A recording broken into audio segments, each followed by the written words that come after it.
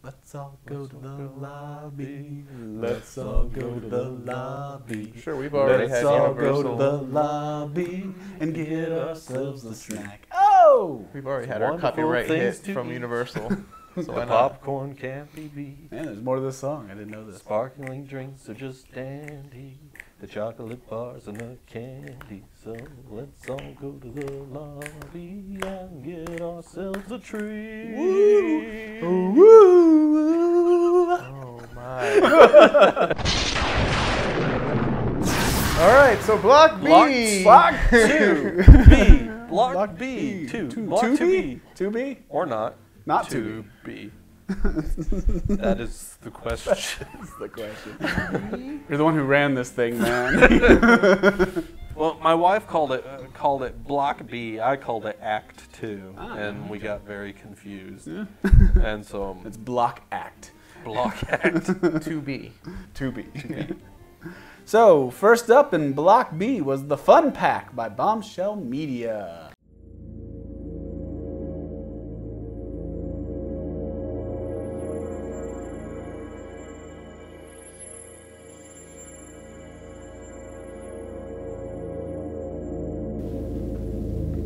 This was this was the team uh, from Athens, if, if I'm not mistaken, that barely made it on time, and I'm so glad that they did. They were they were the closest to being the only team to turn in a film that was not going to be counted, but they just made it. And, and and I was glad because then the other teams didn't even turn anything in. Like the other late teams, they were just missing in action. So, so they made it in. And I was so glad because when I first started watching it, I thought, oh, this is a really creepy horror film. Like, you know, started, the guy comes in dragging the chainsaw. He's got that little white mask and just the beard and the, and the, the uh, you know, and he just comes in total leather face. And then all of a sudden, it, the chainsaw kicks off, and it's like the most hysterical thing. From then on out, it was just, I was laughing the entire time. And then at the end of the film, it stopped being funny. It started being creepy and sad again. Yeah. It was really strange how that how how they did that. So it was, Roller coaster of emotions. Yeah. um, And a lot of good actors, too. The actor who played the salesman on the TV really stood out to me. Yeah, and Just- and they won they won uh, the award for best use of dialogue Yeah. because the line was they never knew what hit them, and the guy says it like twenty times. They, go, Yeah. they never knew what hit them. They never knew what hit them, and he has like this really Yeah. thick like New York, New Jersey accent, and he's got this tiny little mustache. Are you tired of killing people with the same crap all the time? And then. Uh, it was just so out of nowhere. It was just such a strange thing that it, it uh, naturally had to win some awards, and one of them was the the WTF Yeah. award on behalf of, uh, behalf of the Horror Fest. And if you can get the Horror Fest to say WTF about your film, then man, like. Uh, just yeah, such a funny, funny film. Just a funny idea, and and they just they, they put a lot of work into one of the most ridiculous ideas. Yeah. And and They, and they look like they just had a lot of fun with it too. It's like you can just tell. It's like, like you had said earlier. It's like when teams just have fun, you can just tell. And Oh, like, that yeah. was just a blast to watch, and you know that they just had a blast making it. yeah, and and may have just been you know everybody's ideas kind of like thrown in Yeah. while they're doing it, kind of thing that Yeah. just made it very.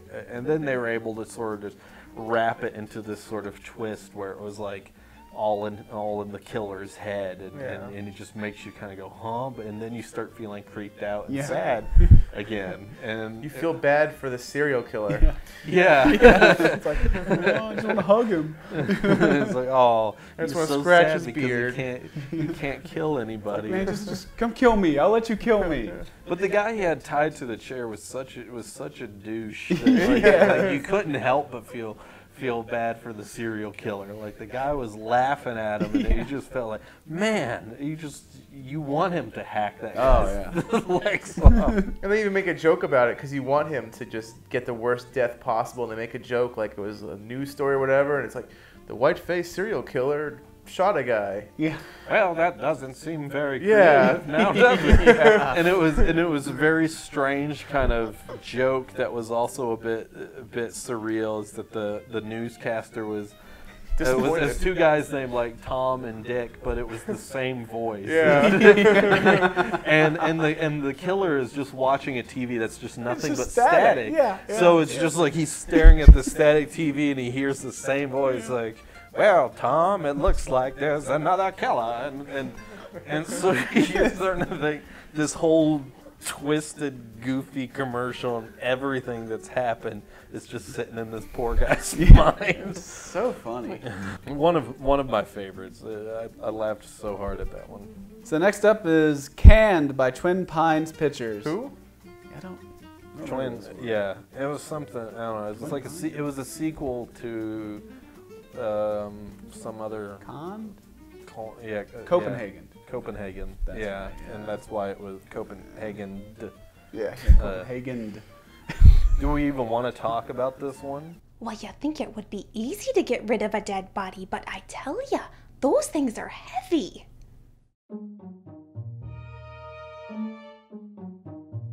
Okay, yeah, well, the body's taken care of, but what'd you do with the knife? Well, we were in the kitchen. I stabbed him, and then I stabbed him again. What What did you use for the legs sticking out of the rug? were they Were they golf clubs? No, that's what I thought. I thought There were actually there was actually a skeleton. oh, was it? Yeah. Okay, so he's going. To I guess gonna he's get going to go get the skeleton. I thought it was funny because it looked like it would look like nine irons or something. like yeah, that. just- There he is. still got his clothes on too. Ah, Yeah. And so resembles the actor. Oh, I know, played the right? body Looks so just well. like Sean, doesn't he? He's, Yeah. he's got a. I just love that it was it was one of those visual gags that just like you knew you weren't fooling anybody. Oh, yeah. but Oh, yeah. everybody everybody uh, felt the same way. Well, I mean, I don't know if you want to go over. There was a piece of feedback we did receive about Oh, like yeah? I was hoping, you know, I don't know if the the fake legs were you know supposed to be part of the joke or if it was a mistake. It's like if it was I'm kind of hoping it was part of the joke. yeah. Like, oh, such great Because it worked, feedback. it worked better as a joke than to be, you know, Yeah. genuine fake legs. So I, I mean, I assumed it was, it was, you know, part of the joke. Because then also, Yeah, of the course it was. Like, the guy, like the the rug was like was like really tightly Yeah, round, so like tight. like that. And then when it opens, you just see this full man just out of it, and uh, and it was it was yeah like just kind of like a visual gag that like didn't that like didn't really throw off the story and it's, it's really surprising when you see something like that dropped into a situational comedy and and it, and it still kind of holds up Well, one of the things that uh, right before we started filming, I told everyone, I was like, you know, if our movie is like, if here's reality, our movie is just like right here, you know, just so just keep that in mind, you know. Yeah. up, so we tried to be just funny. and- slightly yeah slightly skewed but, Yeah. Yeah. um no that uh, that was one that was a, a tremendous uh, crowd pleaser i just remember in the theater a lot of people laughing and a lot of the uh, judges uh, who mentioned it you know talking about saying that that was one of their not an easy movie to to make uh, in such a well such a well way because it plays off of this kind of uh, sort of suspense in, in a sort of comedic way. It sort of reminded me of the sort of like macabre humor of like Alfred Hitchcock or something like that, where it was this real stressful problem, but then every step of the way there was always some there was always some extra element that was an obstacle. Yeah. Uh, and yeah, that, that was it was a great film, and I think it, it definitely w- it was a well-deserved winner. So. Awesome. Thank you. so much. Thank you. Oh, but we do gotta mention though. We gotta talk about the actresses. Yes. Yes. Oh yes. Stacey Littleton Yeah. and, Brenna. and her, Brenna and Bentley. The, the, yeah, both of them did a tremendous job. And I think as far as uh, you know, Brenna's been in a number of films, and I think this was one of her best uh, like performances. Yeah. Like just kind of creating that, the you know, getting into that character was just it was. It, was It came- Oddly easy to her. Yes. It was very creepy how quickly she grasped that character and yes. ran it, and really loved the line. Should move the fingers and the teeth. that. Ah, hmm. I don't think she's as gentle of a person as she seems to be. Like she might actually be kind of a, a violent individual. Yeah. And I don't know what Stacy thought when she when we asked if she was going to be in the movie because we texted her on Friday. Yeah. We had Sean text her on Friday. Sean uh, texted her and was like, "Hey, can it's like, what do you think about doing this?" And it's like, "Can you do a Minnesota, Minnesota accent?" accent, yeah. And so she actually literally like, She went to the bathroom or something Yeah, and recorded recorded, it her phone and sent us a file. We're like, that'll work. yeah, That's good. but no, yeah, both of them. I mean, all of the whole cast did amazing. But yeah, Yeah. they they deserve. I mean, they had some tough competition, but I mean, they, and just a shout out to really Amy great. a- A- Akins too. It's like she was the um, Nellie. the Nellie, the nosy neighbor Nellie, who was talking about the yes, boil. yes, it had some terrific dialogue that was that was under. If you go back and listen to like everything Yeah. she's saying, is some of the most hysterical stuff. It came to her really creepy too because I wrote it and she actually had what I wrote or what we wrote and it, you know and then she added all this extra stuff She to it. I was kept- like, kept going. What are you doing? and we just kept rolling. And I felt so bad too because it's like we wrote, it's like wrote that huge long monologue, Yeah. but Yeah. like my intention was like you won't even hear it. It's just gonna be background noise to what's Yeah. going on. And so she memorized it that day. Right before we filmed, she didn't even know the script or whatever. I just was gonna have her read it and you know do yeah, a just VO. put it in underneath. But she memorized it and so delivered that whole thing, and I was just like with "Man." extras. with extras, and I was just like, man, I feel so bad that this is gonna be covered up. No, it's it, it was really tremendous, and I, and I think just hearing the little snippets of it got a lot of laughs, Yeah. and, and was uh, it's a great, great, great film. I don't know if it was a winning, winning. uh, It was what it was. so uh, next one up is Two Wrongs by Rockridge.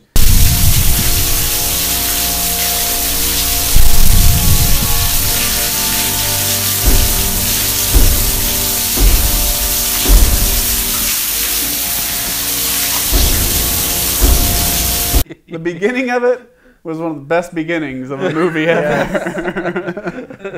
when it showed the cave, I was like, "Oh man, what, they got What a cave. location. This is awesome!" And then just the T Rex comes in. It's like, "This is going to be awesome." This is this is one of those of like the guilt. I think it was a guilty pleasure film. Yes. To to to, to laugh at it as much as we did when we were watching it. Because every laugh was deliberately a cheap laugh. Yes. Like, and they and they the the filmmakers and uh, uh, Kevin Wines and uh, uh, Randall Mosier and uh, uh, like that. I mean, I think they would they would be the first to admit that they were just like they they were just going at it like as cheaply as possible because they wanted to make something that was cheap and stupid Yeah. Oh, and and hilarious and uh, some of the, yeah some of the best one-liners of the festival were, were in that film Oh, yeah. and, and kind of a, uh, uh, uh throwback to Mel Brooks and the airplane films. Yes, and- very and much that, so. That kind of uh, kind and the soundtrack really stood out to me too, with the harmonica. Uh, it was like yeah, it was a a, it was all yeah, it was all um, uh, a person. He was he was actually one of the, the cast members, and he just did kind of like, as far as I know, it was just all improv like harmonica that he did throughout the whole film, and it was just uh, it was just a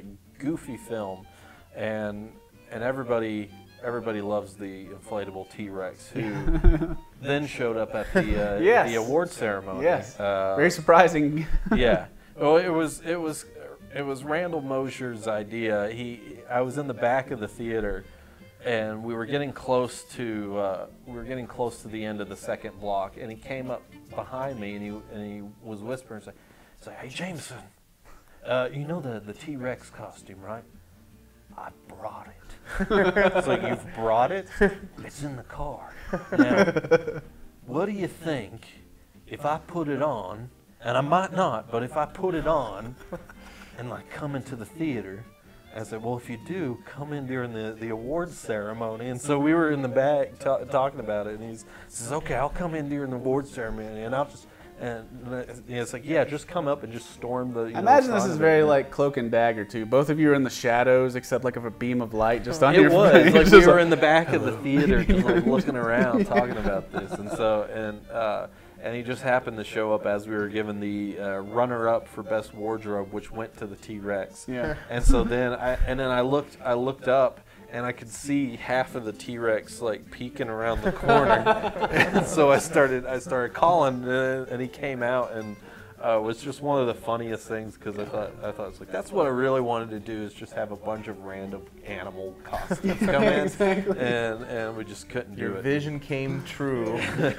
Well, that's what made it a fun festival, though. Like, in year, not to not to knock the previous years, but the award ceremony seemed to be more, I guess, just fun. Like, Yeah. it, Yeah, it wasn't. It, it, it wasn't taken too seriously, you know. It would just yeah, we I think fun it's with it. too easy to want to take it seriously, and, I, and I think that if if you take it seriously, then yeah, maybe you feel like you've gotten your ego stroked a little bit when you're a winner, but then you just feel like an, an extra loser. They're like it's like a put down if, if there's this kind of this air of importancy about Yeah. the about the awards. But the awards are supposed to be just a very lighthearted acknowledgement of how, how well everybody did. And, and so I, and that was one of the big things about this festival is we wanted the awards to be uh, a little more loose and a little bit more, you know, just just funny, but also recognizing the hard work that everybody did. And uh, and that just that calls for an inflatable T-Rex. You have to have It makes everything better. yeah. He, he also, I think, was uh, very claustrophobic in that. He said that he was, and by the time he had made it to the front of the stage, I could see that his covering was completely fogged up, and he was like, he could not see where he was going. So, Next one is uh, Triangle by Mancuso Hobbs. Mancuso, Man, uh, Mancuso, Hobbs. Man.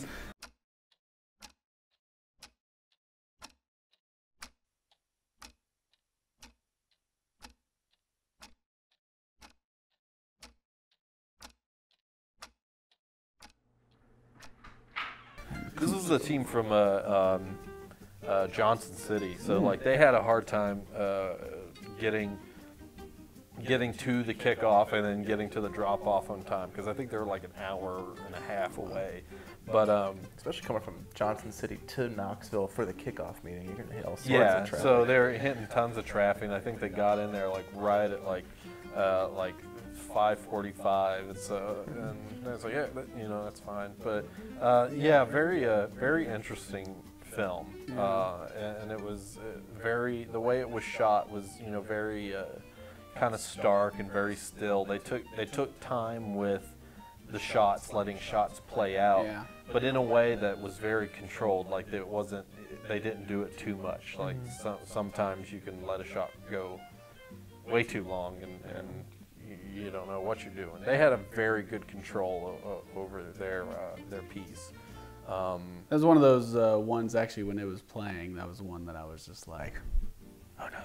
you know, I was like, this one's really good. yeah. really good. Yeah, You know? It and, and it- and it was definitely like a top scoring uh, film. Yeah. And um, uh, if and if I'm not mistaken, this was their the first time that they had done the 54. I, and I think they may have done one other film fest in, in Knoxville, but they mentioned that well, since there's not a lot of stuff happening, you know where they are, they didn't have a, a lot of output. And so I was really glad after seeing their film. I was like, man, I'm glad that you know they you know came all the way Yeah. out here to because what they did was tremendous and uh, it had a great you know twist ending Yeah. with Yes. with the the dude being like I killed your girlfriend and then you know that that's a twist in of itself but then yet another twist showing that he won't even admit to that Yeah. and, and And that was it awesome. too. That was actually one of my favorite. The way it ended with him just walking away and it just stays on the mirror, yeah and then you just hear it. yeah And it's like, oh, that's. and you feel nice. and you feel like it's like come on man own up it man up to it and you know he was that close to it and then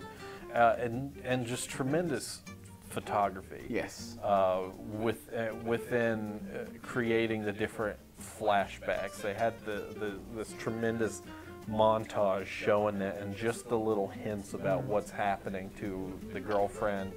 And then to go back and cut back to the guy with his drunken night out and whatever. And it's just the cutting is all over the place. Yeah. and it just they totally switched up the style uh, and it, it was just a tremendous way of, of taking a small moment in the kitchen and then expanding it in, in such a tremendous way Yeah, Like, it was one of the. It was one of the standout ones. yeah Um, very well crafted and and they tackled drama though too. It's like, and that's, well, to me anyways, that's a it's risky. You know, to you can easily dive, you know, dovetail into camp. You know, it gets kind of yeah, cheesiness. or especially whatever, you especially know? when it comes to like talking about somebody's like dead girlfriend or something like Yeah. that.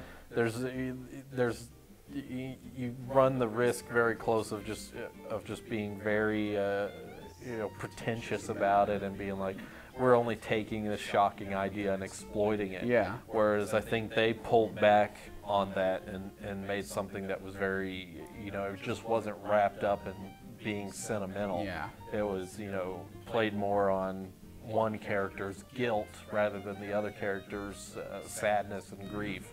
And uh, was- that was unexpected. Yeah, it was very well. That was, uh, like I said, just it could have easily been sappy, and it just wasn't at all. Yeah. it was it, it was captivating. It was shot well. Just production value was really great on that. Yeah, fantastic film. Um, let's see. So, next great job, Calvin and Hobbes. Yes. They've gone dark, man. Calvin and Hobbes. It's like Hobbes. My girlfriend's dead. Don't know. Hobbes, Hobbes just stops talking. Yeah. Calvin's like, This goes- that one day Calvin couldn't get anything out of Hobbes, and he knew he had become Let's a go and build some snowmen. His childhood was ruined, and now Hobbes has come alive. I miss you, Hobbes. Yes, you disappeared the same day my girlfriend did. Why? I need you. So uh, the next is the bucket list by DDM Productions. Honestly, it's not something you expect. Having your whole life cut short, especially when you're just starting out on your journey. You think you have everything ahead of you until one day your whole world crumbles. This was the other. This was the other student film that that filmed at that. Uh, Yes, The Overlook, panoramic yeah. place. Yeah, which was okay. Like we uh, we put the film. I almost was tempted to block the films right next to each other, just so those two films would annoy the, the other one. that the filmmaker would see it and be like, because you know that they, you know, if they were there in the theater and they they saw the other film. It went in their mind. I thought, well, if we keep them apart, no one's going to know that they used the same location. Yeah. And uh, um, this was a yeah, this was kind of a just a charming little uh, film. Yeah. And uh, another one that could have been ultra sappy, but somehow like what wasn't that sappy. I, and I kind of like that the characters had this very minimalist. Uh, uh, outlook on death, you know, that he was just like, oh no, I'm not worried about doing all these great things. I Yeah. just want to do the, I just want to do the little things, and uh, they had a very good uh, montage with really good Yeah. music, musical soundtrack. And really took advantage of the locations too, like around Knoxville and stuff like that. Yeah. Not only the Overlook, but they shot at the, the World's Fair Park as well. And uh, I think Yeah, they went Square. down to Market yeah. Square, and, and you know they kind of just went all over, and, and just sort of looks like that they, they just made a good day out of, of making this film. Yeah. Um, and uh, yeah, it was, ju- it was it was a charming. It was just a very charming film, and I think they they. Nothing. was it a rat? Yeah. Was it? It was a mouse.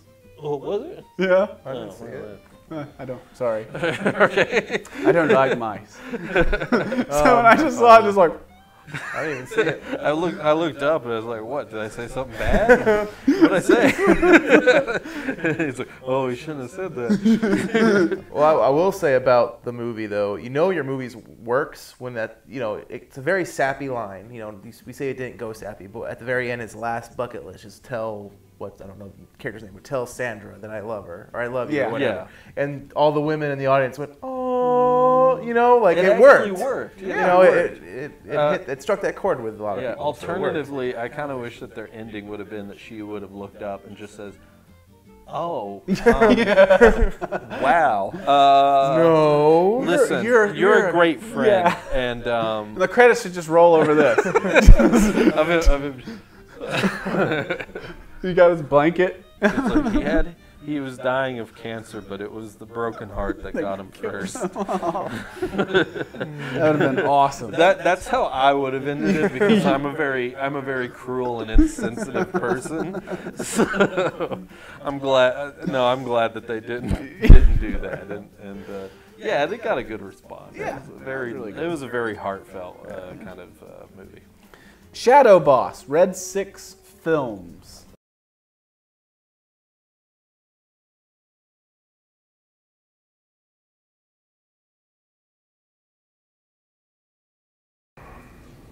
Lost quite a bit of money and resources the past couple of months thanks to Harry Hudson. This was the noirish black and white film, right? It was the only black and white film, mm-hmm. which which I think was one of the team was most excited that they were the only black and white film. I think they they asked when they turned it in, it's like, is anyone turning in a black and white film?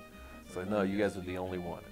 Yes, we're the only black and white film, and and because it seems like every year there's at least like two or three black and white Yeah. films, so they were the only ones. Um, another out of town team. I think they're from they're from Sevierville, uh, which isn't too far. No. You know, it's not as far as the other ones, but they're they're another team that they're kind of like newcomers as far as the Knoxville uh, uh, competitions, and one that just looked like they had a blast doing Yeah. because it's it's really fun to film those kind of noir. Uh, uh, uh, uh, you know, Acting like the type of film. gangster, you know. Yeah, the over the top gangsters were awesome in that. Yeah, it was. It was. I think I had. I think I enjoyed watching that film so much because I could tell how fun it was to make. I mean, maybe it wasn't fun. Maybe they, they were like really, you know, mean, bad, you know, just mean and grumpy about it. But it just it just looks like everyone was having having fun and. Um, and you know, and it had a cool, you know, had that cool little twist with the with the damsel in distress Yes. Yes. killing off like all the guys. Yeah. So it was like, oh, that's kind of cool. And then you know she sort of leaves the kiss of death on the guy. Like I thought, I thought that they, you know, they really, uh, they took something that was, they took a lot of cliches and then sort of just were playing with it. So it wasn't just the typical. Oh, here, here goes a here goes a film noir movie. Yeah. It was it was something that they were just like, no, we're gonna we're gonna try to make we're gonna do all this all this neat stuff with it, and um, so yeah, just really cool black and white film. Yeah. Disconnected by Hold Strong Pro. What is even happening? I can't even believe this! Do you not even trust me? Stop that! What is going on? Then tell me! What is it? I can't even believe this! You win this time! If you could know what I was feeling. First thing that stood out to me with this movie was its title uh, card. I thought its title card was really well done. That's right. 'cause Yeah. you leaned over and said, "Oh, that's really nice." yeah, it was just a very nice title card. I was like, man, man, they were they, The one one film that would have made uh, that I think as far as like the cinematography, I think probably made a lot of people nervous too. Yeah. Uh, it had some really great shots. Uh, Yeah, that, so the yeah, cinematography stood out right there, and the acting was really well done in that one too. I, I remember thinking. It was yeah, and it, it was kind of a, a um, you know story wise. Uh, it was one of the films you weren't really sure which way it was it was going to go. Uh, so, and I and I'm to this point I'm not entirely sure what the what the title disconnected really meant. For one thing, it, it, it it showed the guy at the beginning of the film being disconnected because he was in the he was playing video games and then he was like going through Tinder and then he is at the bar and like totally shuns the waitress who was like who was just like hey you're usual here. And he's like uh, uh, because he's on his phone like and just like practically puts his hand in her face uh, and so it's like okay well now he's disconnected and then the next thing is like when they go out on a date they're playing disc golf now they're disc connected so I, I don't know if that was the point Insert of rim it. shot here. I don't know if that was the point of the title, but like it could go both ways. At first, he's Either- dis- if I was the filmmaker and I didn't mean it that way, I'm would totally be take like, credit for that. yes, that's exactly. like You got it. There's disc connected. 'Cause there was a lot of there was a lot of stuff about disc golf in it. So Yes, there was. I was looking for the I was looking for the connection there. It was, I like in the disc golf they didn't let them make all their shots though. Yeah, Like yeah, they they showed kept them missing. I think maybe they deliberately edited it. Just like make the guy make, maybe they were better and the guy was jealous. It was like, oh, I'm gonna show all their lousy shots. I don't know how hard it is to play disc golf because I've never pain. played. I've It's a never pain. played. pain. Yeah, but yeah, some really cool stuff with the uh, with the motorcycle Yes. uh, uh, driving shots and uh, just uh, kind of. I think that stood out. I think that probably made a lot of people nervous when mm-hmm. they were the competitors watching. And It's it was really we're gonna- sweet. Just a sweet story. You know, Yeah. the classic boy meets girl situation. Yeah. Didn't go dark. No, yeah. Just- you keep the expecting it. It's like you're just so just after jaded. seeing just- after seeing all the other films because this was a very dark year there's a lot of death a lot of girlfriends dying you just you see him on the motorcycle and, and you think it's like is this going to end bad and, and fortunately for the two characters it didn't so thank goodness it wasn't one of us directing that film yeah, yeah, he would have killed her. immediately like Raccoon runs out in front of the motorcycle. Off the cliff. no. and he, and he, and he and, and he breaks a disc Yes. Oh. It's like your disc is sorry, it's broken. And it's like your girlfriend, she's dead. And it's like, but we were so connected. Not anymore. Oh, now you're really connected because we had to sew her head onto your body. Uh, I better call her her parents. It's like, oh, that phone line's been disconnected. I hope they appreciate all these uh, all these plot twists. That they feel free to use any of these ideas. Take if, it and run with it. If, just if you want to make a sequel, just take these ideas and just make Disconnected, to on hold. Feel free. That's our gift to you for you for uh, giving us that gift. So the next one is Oak Ridge by Unwarranted.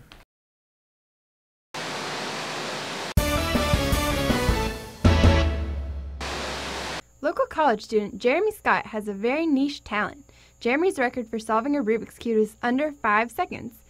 This one I thought really had really great production value. It was. This was a student. This was a student film. it looked And- and- fantastic. And, it was. Uh, and, and I think the story behind it was that they had very limited resources, except for their uh, um, campus broadcast Yeah. studio. Okay. Uh, and so that's where that wonderful set comes from. I wasn't sure where it was. Graphic. like, yeah, get a it news was, station? Yeah, it was. It was. Uh, uh, it was a campus uh, broadcast class at UT, as far, as far as I know. And so they, I think they took that and just says like, look, this is probably the best resource we have. Let's exploit it for all, it, you know, all it's got. And so they created this very unique and interesting uh, film. It was, a, it was a neat approach that they didn't. They weren't trying to make a film that looked like a film. Yeah. They said, let's let's make it look like a, A news story. You know, what's the worst possible thing that can happen uh, Yeah. uh, Well, it was- during a news broadcast? It was kind of crazy though, because it starts off with the Rubik's cube story, and you're like, Where, "Where's this going?" You know, it's a Rubik's cube story, and then it goes into it. And you're like, ah. Yeah, and it, and it was just there was so very little revealed, but like I think enough just knowing the title Oak Ridge, everybody in the area Yeah. is thinking, oh, that could be anything. Yeah, oh, yeah. That's but it's whatever it is, it's coming to kill us all. yeah, exactly. Um, and yeah, had some really great moments. I think the guy in, in the back of the news van, Yeah. just kind of slowly getting uh, sort of detached from Yeah. from having to be the news broadcaster, and, and you know, just it gave the whole thing this very just creepy, unsettling vibe. I was really, I remember thinking actually as it was going, I was like, man, I really hope this goes into full just, uh, even though it was a giant monster, is what I think it was.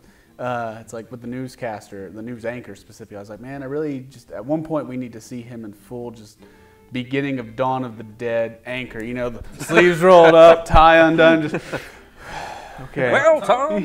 yeah, like, why am I reading this crap? You know, just- it's so- It's, yeah, there was a lot. I think there was a lot that was sort of withheld from it, but then you know added to the mystery and and uh, the, uh, and it was even going through the film. I was going through trying to get a glimpse of like whatever that monster was that was like coming. Yeah, out. yeah. And I said, I was like, was that Godzilla? Like, what is it? And you, you still can't make it out, but Yeah. you're just thinking, ooh, that's you know that's that's un, that's unnerving. Yeah, just the hints of it. It's like it's to make sure your audience goes to see it. You know, as little as they did, just as quick as it was, but you still everyone goes like, there was something.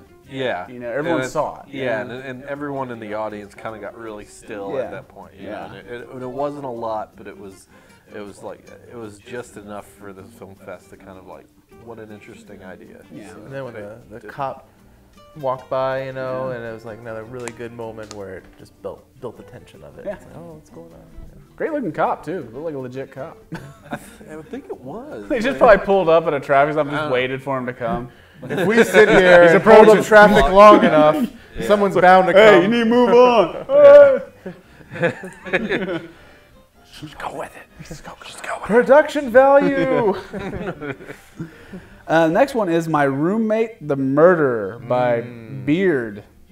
Uh, my name is Ryan. Uh, Ryan Dalen. I don't know if you, I don't know all that, but uh, I don't know. I don't think I really do anything noteworthy. I guess. Uh, my name is Dan Casey, and I live with a murderer. I have to apologize to this team because I kept calling them bread. It's part of my like dyslexia. For some reason, bread made more sense to me as a team name than beard. I don't know, but but then I saw the guy with the beard that like really looked like Joaquin Phoenix. Yes, And- yes, he did. And Just like him. Now I understand why they call themselves beard. That's why they Uh, got Joaquin in this man. so, man. Um, yeah, really, really kind of uh, just off the wall sort of silly movie. I thought it was funny- beautifully acted and just so funny, like throughout. Just every line I think was like so hilarious. It was, re- yeah, it was- and it's very hard to do a, a mockumentary, but I think to do it in that way and to make it just very bizarre, you know, it's very unexpected. Like none of these guys seemed like murderers. You know, they didn't they didn't go with a joke of having, you know, just want to say, well, this is my roommate, and then it cuts back and it's Jason. Voorhees, you know, just you know, it was the whole time everyone was just really relaxed, and then you see the bathroom door open, and it's just covered in blood. Yeah. And, and the guy's just like the guy just seems like mildly annoyed. He doesn't even seem mad. Come on, guys. Or psychotic. He's just like, dude, what? Why you? Why you? Seriously, Why you still uncool. filming? I don't. I don't get it. Like, And then a secret spot too. Following, it's like I told you not to follow me in a secret spot. It's just And the it's just a dumpster. dumpster. Like, I like the, the, the title card. It's like Sam, next victim. Yeah. Sam, whatever whatever whatever it said after he was dead. Like Sam, latest victim. and also his roommate though. It's like I mean seriously, you know, it's like I wouldn't kill this like roommate, not a murderer, Possibly a possibly a murderer. murderer, And it's like, Definitely a definitely a murderer. murderer. It's like oh, it's so funny. It's like I feel bad when you know he like kills attractive people because it's like Yeah. it, it was yeah I'd love to know like you know if this entire film was just improv from you know beginning to end or if they were as or if they actually had that kind of outline. I noticed in their credits, it seemed like the act, the director was one of the actors in it. Or they were both director. I don't know if it was co-director or not, but it seemed like it was a very small group of five people in the whole credits. I feel like. Yeah, it was just like a couple of buddies. Uh, Yeah, and- having fun and- making a movie. Yeah. It was awesome. That was a And they won the award. Uh, That's right. Uh, William from the uh, Horror Fest uh, picked that That's out. as- right, As, yes. his, as his favorite horror film. And that gets premiered. Doesn't it play at the Knoxville Horror Fest? Or I think so. Yeah, It's I think it, I think it'll be there. Yeah. see it again there. so the next is the Giving Towel, and just says J is the production. J is the name of their team. Yeah? That was it. It was J. just the letter J. I thought that they just didn't complete the registration or something. It must But hit no, enter. It was, it was just J. Once there was a towel, and she loved a little boy. The boy used the towel to play hide and go seek, and build forts, and wears a cape. And when the boy was tired, he would sleep on the towel. And the boy loved the towel. And this was this was uh, this one kind of made us nervous when we started to watch it. And I think everybody watching it was like, "Where is this going?" Is Because this it's going so- where we're you gave a warning before the second block of films. Is like, okay, so everything's a PG-13 movie. Um, some go a little bit off the wall here, but nothing up to this moment seemed too weird. They'd be like, Yeah. yeah, nothing doesn't question the PG-13 movie. It's like this one pushes it. This, This- block pushes it. That's the one that you're kind of worried, like, what you know, where's this gonna go? And Yeah. When it comes to a guy wearing a, a loin cloth and then, At, what and- festival was it at? It was like some festival. Who's that? oh, it was a, oh, I can't remember. He- Or he wanted to wear wear a he needed a loincloth for Burning Man. yeah, Yes, Burning that's Man. right. Yeah, that's right, Burning Man. and uh, and I don't know how many people picked up on on the fact that this was a parody of uh, the Giving Tree. Oh yeah. Yeah. Uh, There was uh, there was some of the judges. I think they they were they were confused by that. I thought, Oh. no, this was it was a direct parody from, Yeah. from The Giving Tree, and, and they even cited uh, Shel Silverstein in their credits as, as the inspiration I for missed it. that. And I, and I yeah, and I watched it and like immediately realized, oh, this is the the Giving Tree. It's why it's the Giving Towel. And what a bizarre thing to do because towel was their was their prop, and and they were just like, well, let's make the whole film about the towel, and let's give the towel a personality and a character. and I thought oh, that that alone is funny, but then it just kept getting. A little, Odder. weirder and weirder, and, and, going. and Well, uh, you know, I love the Snickers in the audience though. The moment it first started, just it's like it's like just come into come me, boy. boy. Oh yeah, that's come boy. Everyone just was like you just hear the snickering. I was like, oh. it was one of those ones that like people who had their minds in the gutter were definitely following this film very well because it, I know someone really close to me was laughing really, really loud at all that stuff. he was enjoying it. He'll remain nameless though. You know who you are. Ah, Jinx, knock on wood, you owe me a Coke. Can't talk till you give me a Coke. So, Jameson, now that's just you and I. I was about to tell a really heartfelt story. Go heartfelt get the story. Coke. Yeah, this movie really like it got it got me all emotional because it had the shots of the little boy playing with the towel and the overalls at his like playground, and like it had been like I don't know like we were into it like three hours by then, and uh, Luke, my little two year old or whatever, reminded me of my two year old, and I was like, Yeah. "Mm, I want to go, I want to play with my kid.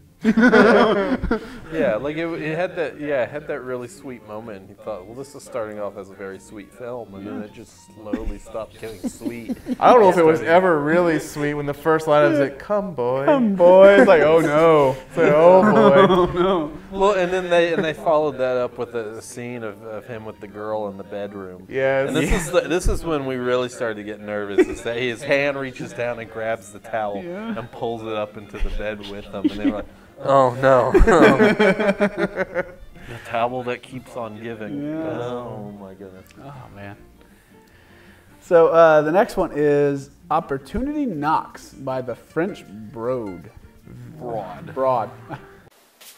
Hey, hey, y'all wake up. Hey. Wake up. Candy, wake up. Y'all wake up. I got us a gig. Yeah? Yeah, I met this Russian lady at the bar last night, and she's going to pay for us to make a commercial for Beaver's renovation. And then all we got to do is get her house painted before her in laws get here late tomorrow night. Okay? Candy, wake up. Broad. I can't. This I one- Broad. This was the other one that this this is the other one that made us very nervous. Oh, yes. when, when I was watching it, I was wondering, it's like, where, That- that- where does where is the line drawn? That frying pan started to slip. I had to watch that scene very carefully, looking He had for to anything. zoom in a little bit. I did. I had Is to. there any I had to make slippage? sure because I'm like, okay, I'm watching on my computer and it looks fine. When it's 60 feet big, are we gonna see anything? You know, Phallic. dangling out like. You know, like I had to make sure that there was there was nothing, you know, that you know, playing groundhog there. And I think- but we only saw the shadow, thankfully. I mean, six more weeks, the 54.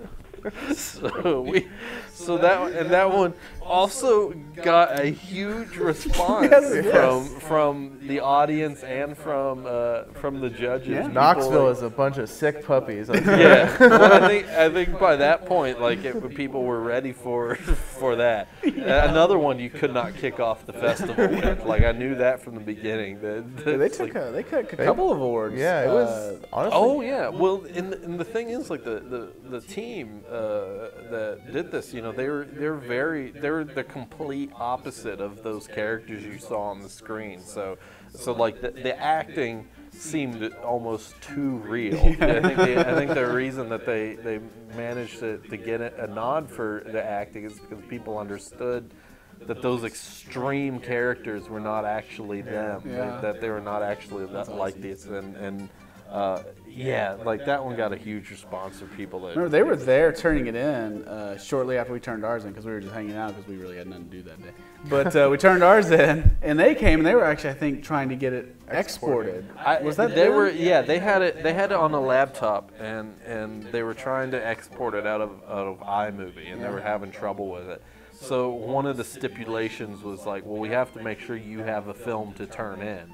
And so we uh, uh, we, we sat down and with their laptop and, and they played through it and, and that's when I was that's one one of the first films I watched because of that. And I was like, oh man, is this going where? Is this, where's this gonna go? And uh, but, but had to make sure that they had their film, and then they managed to they managed to get it exported. So then we got it onto a, a thumb drive, and it was like, all right, we got we got your film. But there was a few teams that, that had to do that the same, and we told them it's like, look, if you can't get it exported on a thumb drive. Bring your laptop and let it render out while you're doing it. Like you know, you could come here and, and Yeah. export your film, and and we're, I'm glad that one made it in. Yeah, Like, yeah, I'm yeah. really glad it did. Um, just because it was it was very, of course, uh, got the uh, out of left field award, which Yes. was like Keith was watching the uh, Keith McDaniel's of the Knoxville uh, uh, Film Festival what? was watching these. I know, some some film festival. I don't- I don't know. And um, Keith, uh, but I guess he was just busting a gut over this one. Uh, uh, probably must have been like his favorite film. He's watching it in his podcast studio, just laughing hysterically. So that was that was opportunity. So it'll actually be shown at uh, the Knoxville. Oh, that's right. yeah. It, it gets an it gets a free screening Yeah, there. Uh, so uh, I, I I really want to be I really want to be at that screening because I want to see what that audience thinks. so the next one was Emerald by Nexus Films.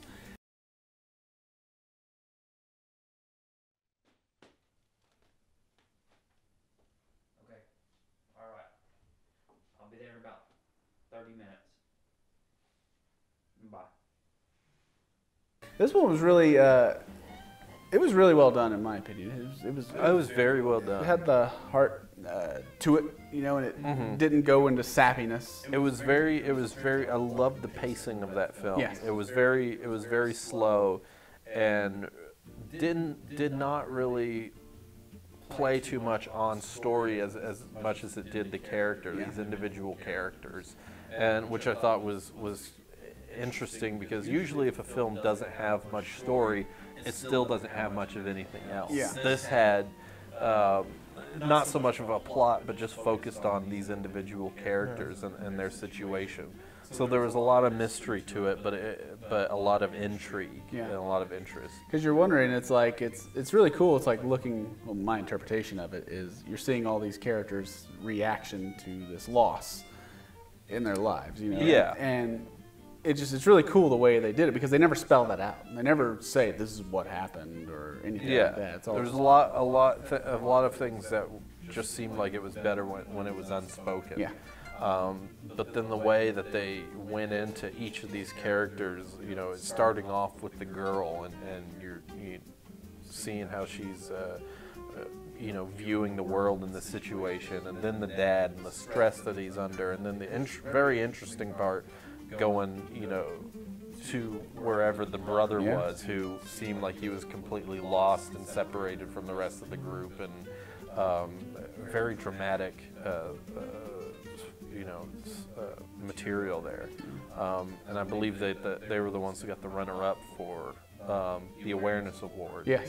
Just because it, it, it really showed um, uh, sort of a troubling, you know, a troubling circumstance, and also there was no uh, there was no resolve to their trouble as well. Yeah. Yeah. Which is kind of a gloomy, sort of depressing way to end it. Yeah. But also a very real ending. You know Yeah. that they they at least had some comfort. You know, you see the mother figure come in and Yeah. comforting them, but they still have they still have problems that they got to deal And the with. little girl I thought was very captivating throughout as well. It's like I don't think Mhm. she said anything until the very like last bit of it. I don't remember. Yeah, her I, I think it was so- just the last. Yeah, I think it was just the last line. And I thought Uh, she just was like throughout just the stoicness of it that she had. It was uh, very well done. It was very well shot too. I thought. And the Yeah. director of it, he was the one that won the up and coming award for the Knoxville The Seven, Seven Day. Day. Yeah, I think so, yeah. Crockett.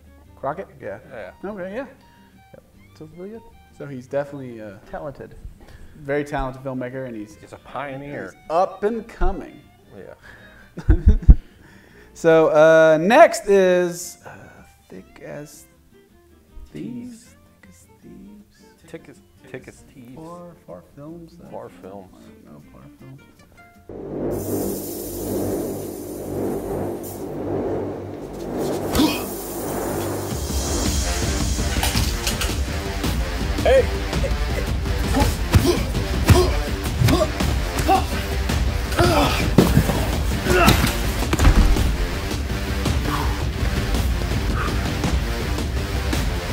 Now, thick as thieves. They by had a drone film. shot. they did. Eh. Yeah, it was pretty pretty good. It was, it was, it's a bit overrated. I'm was sweating a kidding, young Eddie. You guys are sweating a little bit now. huh? call Oh man, I mean, in all honesty, like you got the one thing. One thing you did change about the 54 this year was that you can only vote for one audience favorite. In pre- Yeah. years past, there's like two or three. I don't remember. And so La- last year it was split up between blocks. That's That right. There, there was Yes, a, there yes. was a audience favorite in the first block and audience uh, favorite in the second That's block. right. Yeah. Uh, and I believe like both your film and uh, and Far Film uh, was in the second block. So even if we did that, the, the audience could only pick one or the other. So Right. Well, uh, you just never stood a chance. Well, we we I mean, in all Not honesty, at all. I voted. I, you did as well. We we I could not, in good conscience, vote for my own film. Yeah, we both voted for with that film. It was it was a tremendously entertaining film. Absolutely. It, it was. I mean, it, you you really can't you really can't not say that. No. It was just a really well crafted film. Yes. Straight through. And and and the thing is of it too is that they it, they really kind of took almost a sketch comedy approach, like I, I felt, but did it in a way that was still very very strong. Yeah. Uh, and I think a lot of that has to do with not not just the writing and the directing, but the they had a terrific cast Yeah. who really brought the comedy, and that's the one part of it is that the, it's really hard to get you know that kind of comedy unless you've got the right guys Yeah. Behind and in front of the camera. Uh, you know, it, it was very. It would have been very easy to mess that film up, and, and they did it. I mean, just it was. Uh, Yeah, everything about that movie, it's like there's just no weak spot in it at all. And, No, I it's mean, very very tight, Yes. uh, structured, and uh, uh, and I and I will say this, and I and, and I, I said this at the festival, and and Eddie tried to shut me down and say it wasn't so, but the shot where the car pulls up. And then it's the and it's that little kid that's in it. Yeah. First of all, that's the I think to me that was the funniest Oh, yeah. moment in the movie. Yeah. It was like get in, daddy, Yeah, get that was in.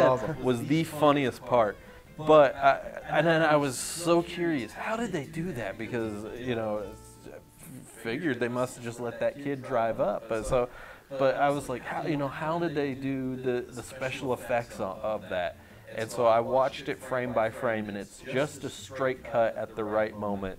But you see a full-grown man pull up in that car, and then it changes to that little kid. Yeah. And then the the dad gets in, and then right as they're about to take off, it cuts back to that full-grown man driving. but you can't see it when you watch the film, and, and so he, he denies that it's there. But I, I encourage anybody.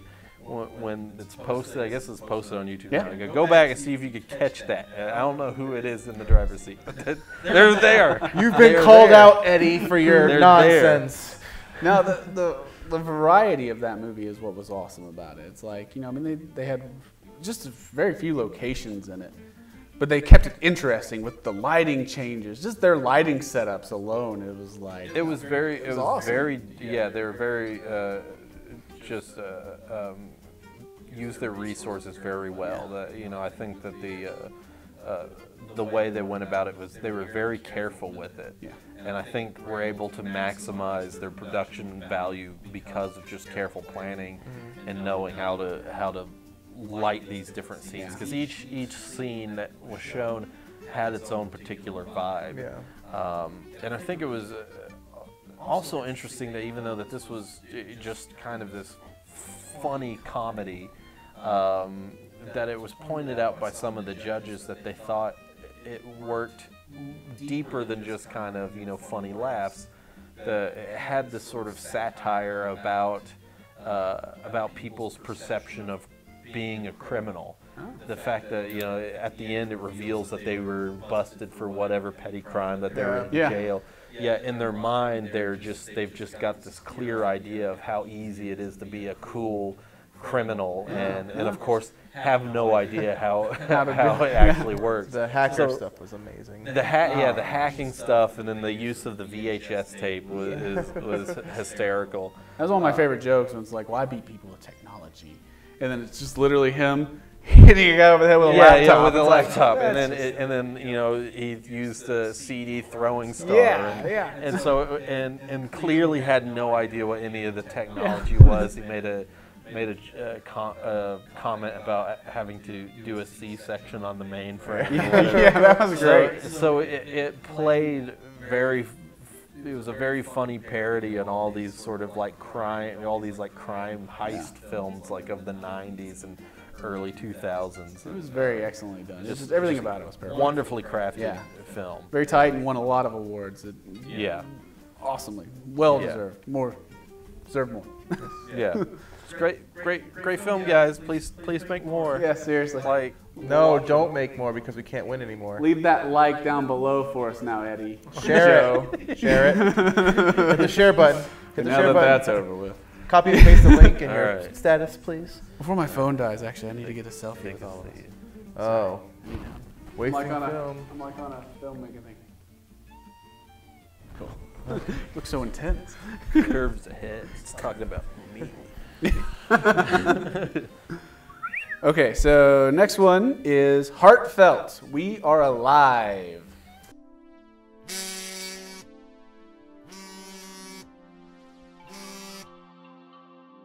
Hello? Hey, sweetie, how was your day? Fine? Did you do anything exciting? No. The puppet film. Yes. I was so happy that there was a puppet film in it. Like, and, and, and here was the thing when I was watching it and I saw the puppet, I was like, I was immediately touched, but I was rejoicing. I was like, yes, someone put a puppet in their film. Because I felt like that was a message just to me. I, I, I didn't think anyone cared that much uh, about all the effort I did with my puppets. You know, to, they, nobody wanted to acknowledge that. Uh, yes, Uh, but then the film, like, it, it was very just funny and had this very quirky style. And then, uh, you know, just completely did a 180 and became, was very deep and, and, and, a, and a very, very poignant film.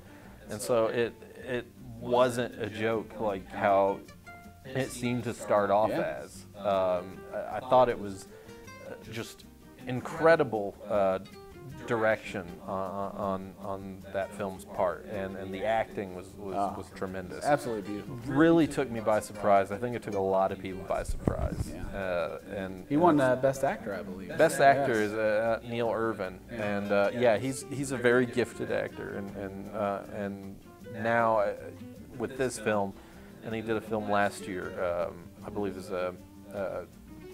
Daddy was a time cop. Oh, really? Another, That's another Yeah, really that weird, yeah. quirky kind of Yeah. film that that took all these elements that you know seemed like they could be silly, but turned it into something really deep. Yeah. Uh, so I don't, I don't know. Neil must be reaching into some really dark places inside, like to pull this stuff out of.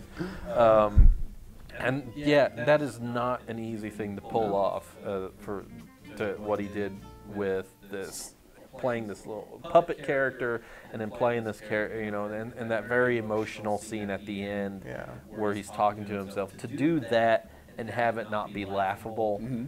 but to also have it be tremendously touching was just I was just like wow Yeah, So- winning the audience like that over something that could be easily, like you said, just you know, comical. It's like Yeah. it wasn't, you know, it didn't ever go that way. It was just like, man, Yeah. he's got, it. yeah, he's got Yeah. all of us now, captivated by him and this puppet.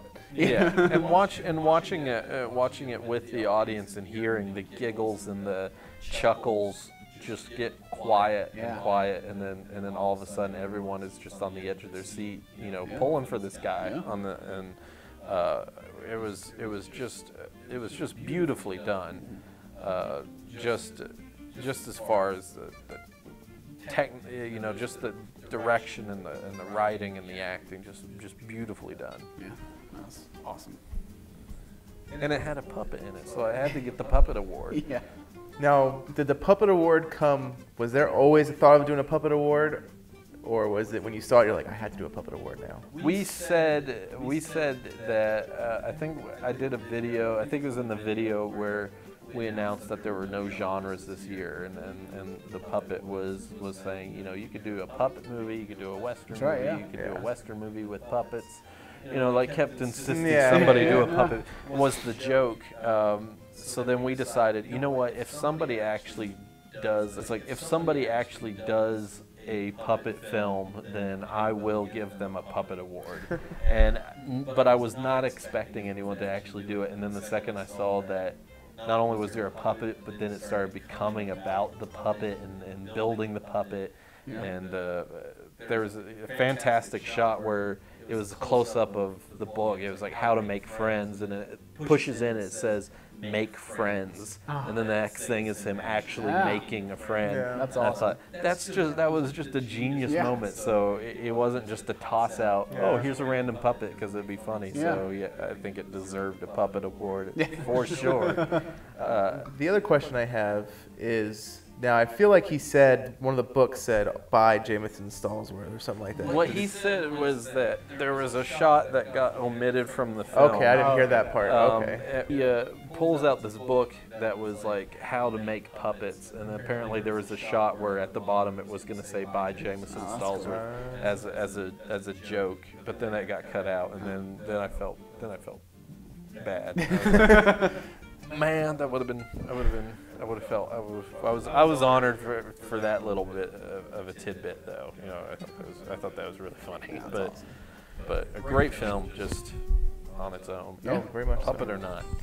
Next movie is The Pink Ribbon by Boston. By Boston. Boston, yes. The musical group came all the way to Knoxville to Mhm. participate. Yeah, yeah, they, and they were great sports Yeah, about it too. They gave that secret show, you know. Yeah, well, to you know, to us and, and a really good yeah, time. a lot of people missed out. Yeah, uh, it's too Missed bad. out on Boston.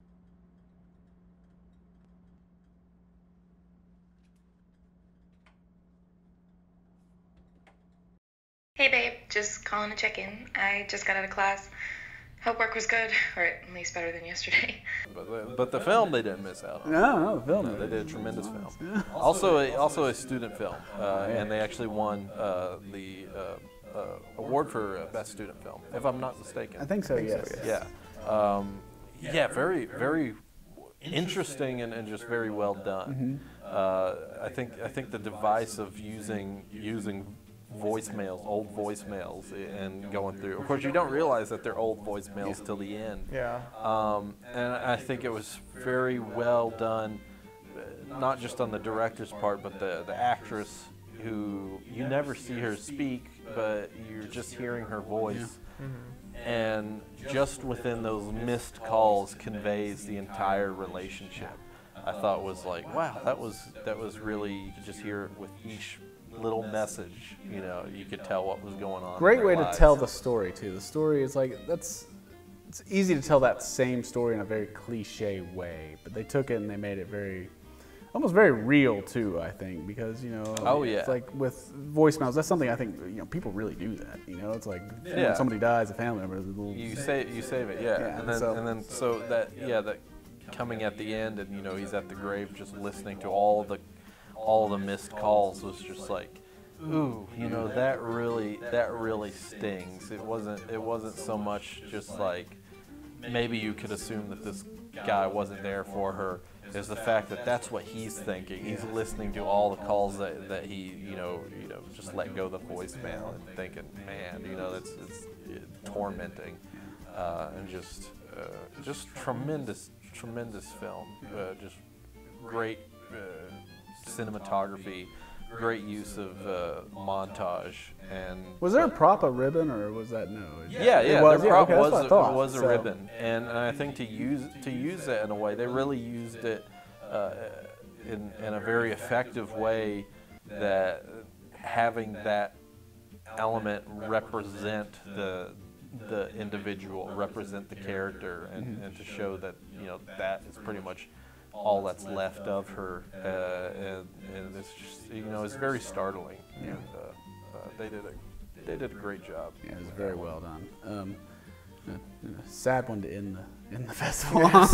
yeah, it was. It was. That was kind of a. That was kind of a. Yeah, I, I think maybe like the audience would have appreciated like a more of a pick me up film. 'cause Yeah. that one. That one. That one. After you're done watching, that one kind of sits with you Yeah. a little bit, and uh, which is uh, only goes to tell you know just the effectiveness of, of the of the director, the, the filmmakers, of, of just how well that one sticks with you. And that that was one of the films that kind of hung around with me, just watching all of them. I, I, I kept going back and thinking about that one, and um, and and and also just very surprising with this one that it was a student film. Yeah. Um, that uh, so I don't know. You know, they seemed very experienced, uh, like very experienced filmmakers, and that they knew exactly how they wanted to tell this Yeah. story. Um, they hit it out of the park. I thought. Absolutely. It was a great That film. was awesome.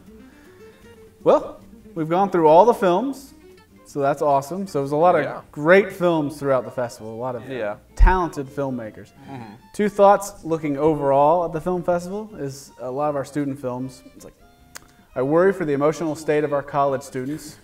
A lot of Oh, yeah. a lot of dead girlfriends. A lot of very dark. Very, I think, and I think part of that was getting rid of genres this year.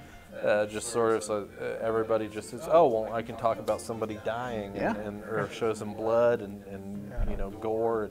And everyone, so yeah, it's kind of unnerving to think that everyone's got that dark side. Yeah, we like, saw that they wanna death. I think every facet of death that there is, we saw in a comedic way, a quirky way, a dark way, a depressing way, a really disturbing way.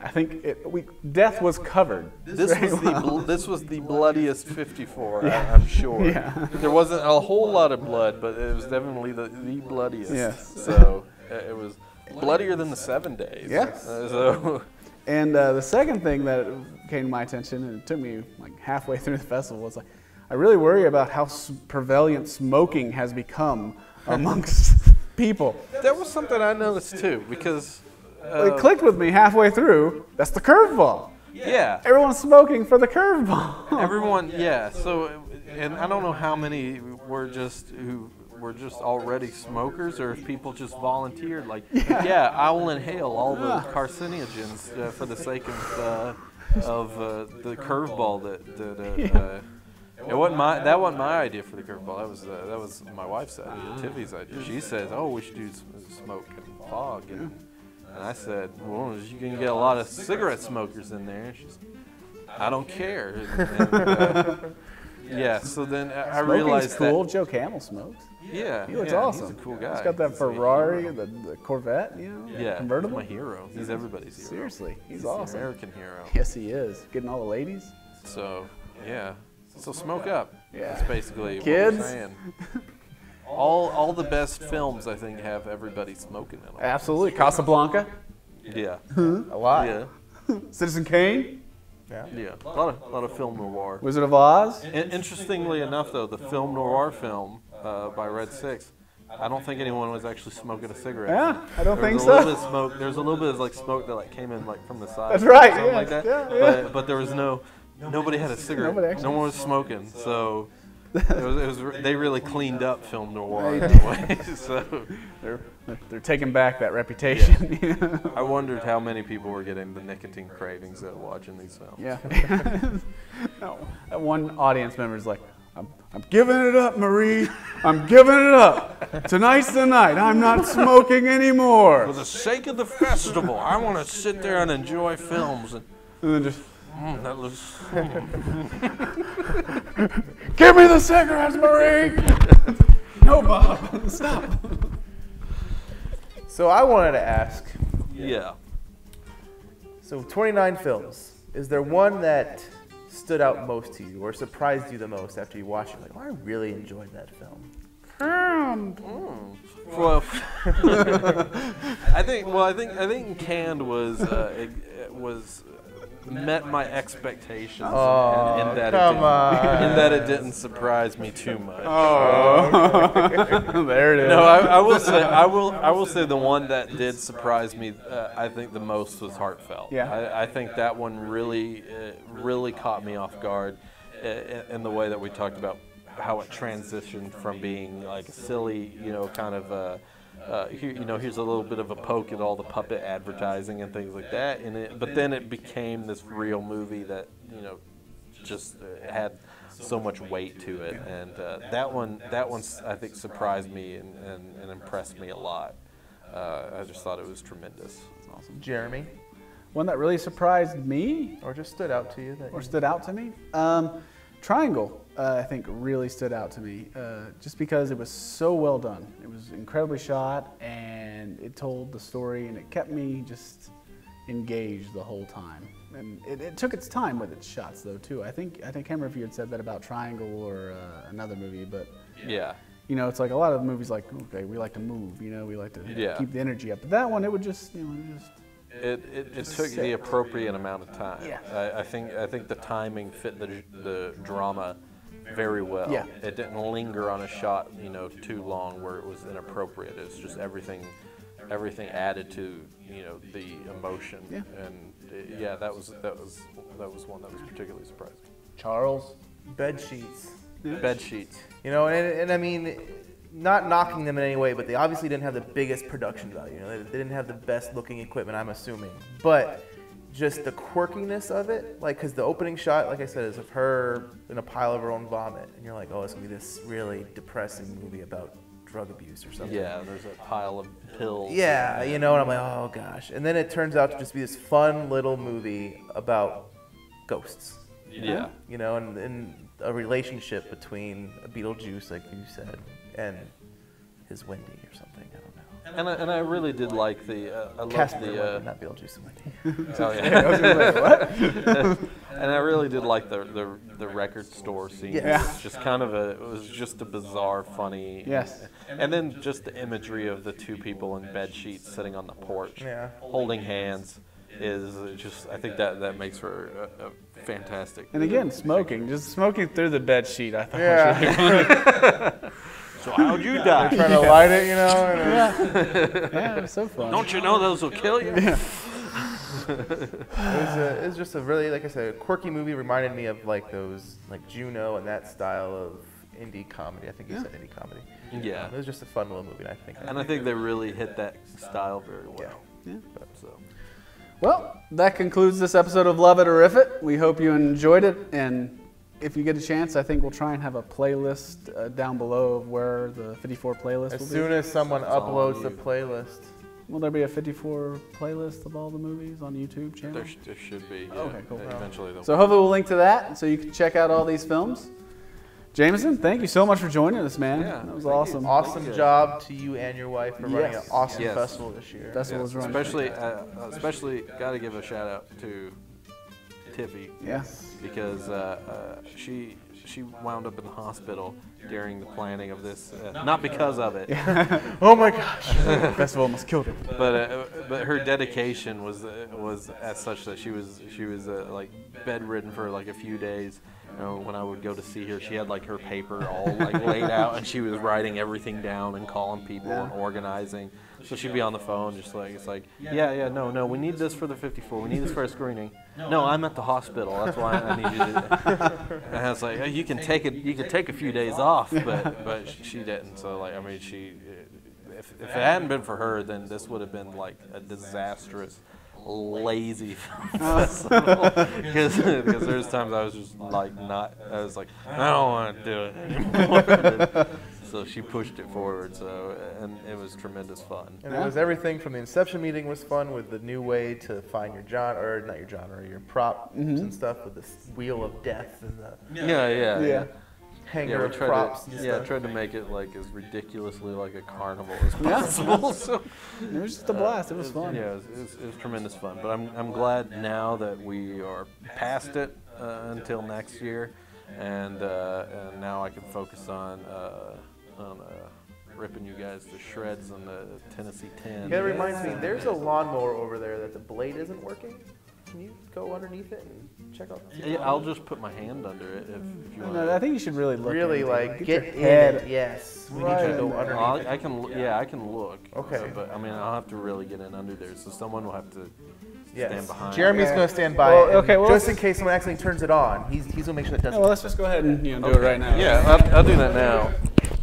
See you later. See y'all. Thank y'all very much. For- we should turn the lights off while I look under there too. So. Next to the next to the blood. Yeah. Okay. Don't mind the blood. That, that's actually ketchup. It's, this is lawnmower right here. Right? Yeah, it's right there. Yeah. Yeah. Uh,